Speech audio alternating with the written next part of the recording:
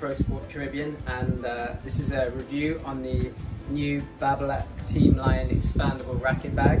Um, this bag is uh, designed to take up to 9 or 10 rackets, uh, which it does quite easily, but seeing as um, most of us don't really walk around with 9 or 10 rackets, um, you can put pretty much a lot of other stuff as well.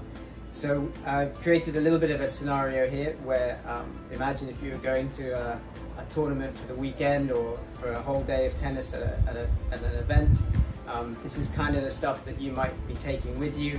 Um, you've got about five rackets, uh, a reel of string, a couple of pairs of shoes, some hats, uh, a water bottle, a few changes of clothes, a couple of towels, some grips, sweatbands, head tape, uh, your wallet, keys, uh, iPad and phone. Um, so we're just gonna see how we can fit all of this into this pretty awesome bag.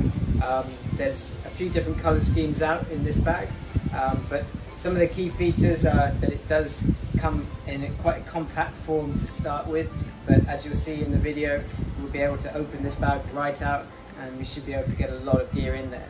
So it is kind of useful if you just want to go to the court um, just for an hour or so.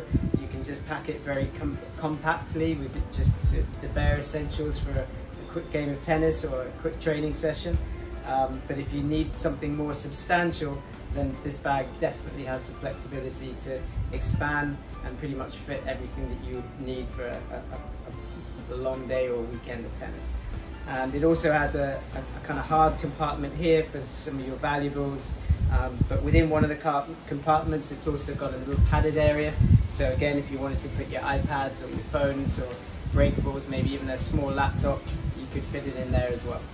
So uh, this bag is available on our website. It's about 700 TT dollars, which is a fantastic price for such a such a versatile bag.